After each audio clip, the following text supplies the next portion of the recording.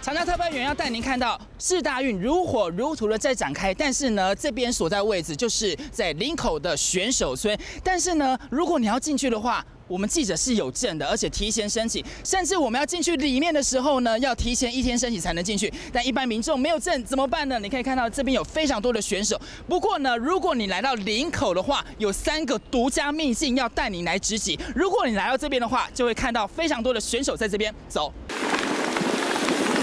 跟着我们镜头来看到，就在选手村的正对面呢，其实有一间呃咖啡店。这边呢有聚集非常多的选手，而且随处就可以捞到一些高颜值的帅哥。Excuse me, we are media from Taiwan. Where are you from? I'm from Texas in America. Okay. Yeah. So that's your first time been to here? Yes, it's my very first time. Okay. So uh, how do you like it?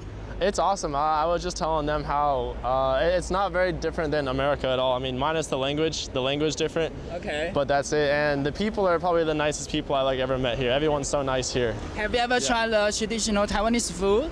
Uh, not yet. I'm about to go eat with uh, one of my coaches though, so I think uh, probably gonna try some there. Okay. Yeah. Wish you enjoy your day here. Thank you. Yeah, it's very nice. Welcome to meet you. Thank you. 你可以看到，我真的是随便随机的就遇到一些还蛮不错、高颜值的帅哥以及美女。可以看到呢，这边呢镜头往这边看，有非常多的外国的选手，他们就在这边 stand by.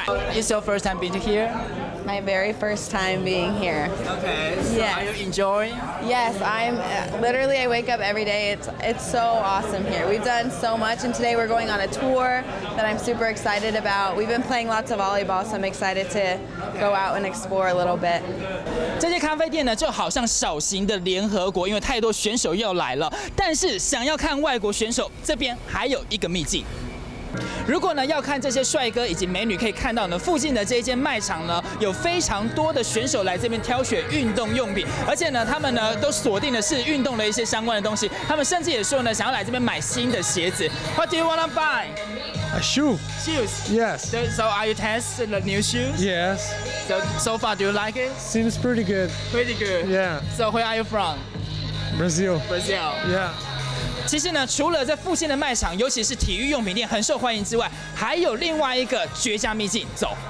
最后呢，很有可能可以看到这些外国选手的地方呢，就是距离在选手村大概走路十几分钟路程的 Outlet 这边呢，其实平常就有很多台湾人会来，但是呢，在试大运期间可以看到呢，很多的外国人都来到这边来采买，所以啊，就算呢你没有这种选手证，或者是没有办法进去选手村的话，你都可以来这三个地方，都可以看到这些外国的帅哥以及美女。